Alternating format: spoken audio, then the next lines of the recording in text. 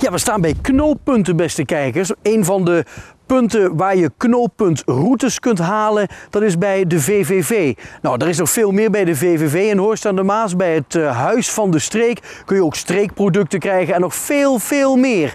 Dick Seuren, hij zwaait de scepter bij het Huis van de Streek in Horst aan de Maas. En hij schuift binnenkort aan bij Aan tafel met Pieter bij jou op de lokale televisie. Heb jij een vraag aan Dick? Stel die dan via social media. Like ons op Facebook, volg ons op Twitter en blijf zo op de hoogte van alles wat reilt en zeilt bij deze die in Noord-Limburg en Zuidoost-Brabant op televisie uitgezonden wordt. Binnenkort Dick Seuren als nieuwe gast bij Aan tafel met Pieter bij jou op de televisie.